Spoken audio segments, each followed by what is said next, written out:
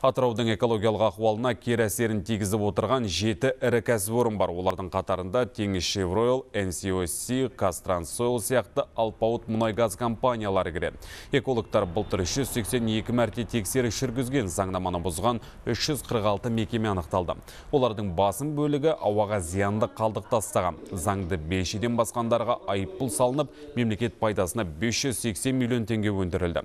Десе де осы мамыр айының өзінде ауа құрамдағы ластаушы заттардың шектік деңгейден асқаны туралы 92 ақпарат тіркелген.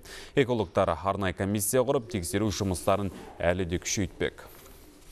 одан басқа 53 қоршаған ортаға келтірген залалды э, өтеуге 53 нұсқама берілген Э, жалпы сомасы 6 миллиард 159 миллионның үстінде Э, ол да түгелдей дерлік өндірілген күні бүгін 2017 жылы жалпы департаменттің қоршаған ортаға келтірген залал өндірілген залалы 22 миллиардтың үстінде теңгенің үстінде құрайды.